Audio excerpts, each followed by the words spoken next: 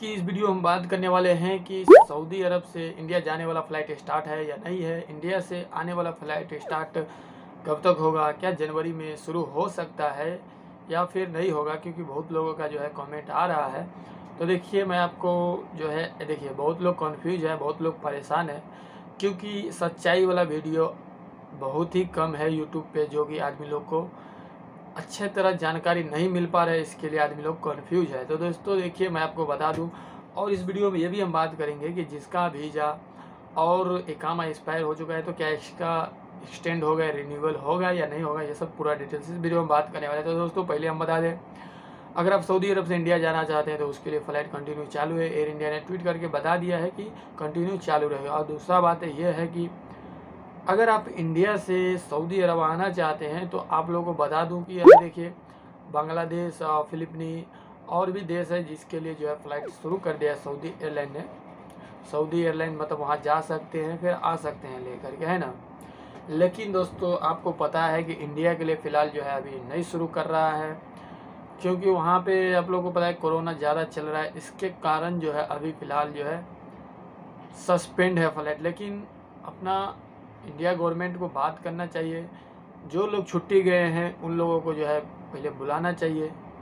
और आदमी लोग बहुत अभी फ़िलहाल बहुत परेशान है। और दोस्तों, हम बात करेंगे, देखिए, जनवरी तक का टाइम दिया गया है। यहाँ का गवर्नमेंट ने कहा है कि जनवरी तक, आपको फिर से बता रहा हूँ, देखिए, मैं पिछले वीडियो में बताया था कि जनवरी तक दिसंबर में ही अनाउंसमेंट हो जाएगा, समझे कि नहीं? दिसंबर में पूरी तरह खोल दिया जाएगा, जैसे हवाई प्लेन न, यहाँ पे समुंदर में जो जहाज़ सब है आने जाने वाला वो सब भी फ़िलहाल पूरी तरह से दिसंबर जनवरी एक को कहा गया है कि खोला जाएगा लेकिन इंडिया के लिए इतना कोरोना चल रहा है क्या वहाँ के लिए भी खोला जाएगा फ़्लाइट इंटरनेशनल फ़्लाइट?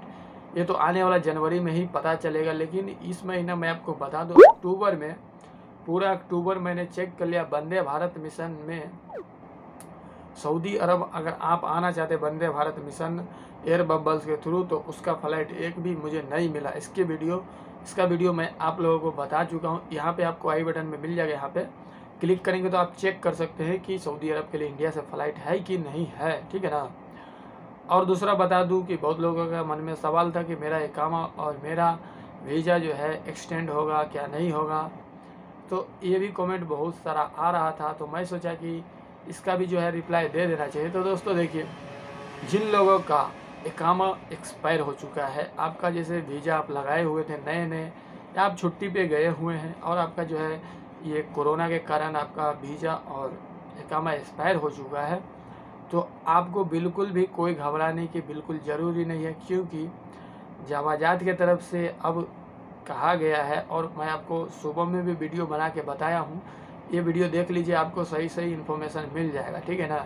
यहाँ पे जो देख रहे हैं, यहाँ पे आपको वीडियो मिल जाएगा। तो मैं आपको बता दूँ, देखिए, जवाजात की तरफ़ से ये कहा गया है कि जिन लोगों का एकामा और वीज़ा एक्सपायर हो रहा है, उन लोगों को अब जो एक ऑप्शन दे दिया गया, पहले ये ऑप्शन नहीं था, लेकिन अब जो है दोस्तों ऑप्शन दे दिया गया ये कि अगर आप कंपनी में आना चाहते हैं या आप कोई मालिक के पास आना चाहते हैं, कोई कहीं भी आप आना चाहते थे, जिस कपिल के पास, जिस मालिक के पास तो अब इसमें एक ऑप्शन ये दिया गया है कि आप उनको कह के अवसर के थ्रू आपका वीज़ा का डेट, आपका एकामा का डेट, आपका मालिक या आपका कंपनी बढ़वा सकता है।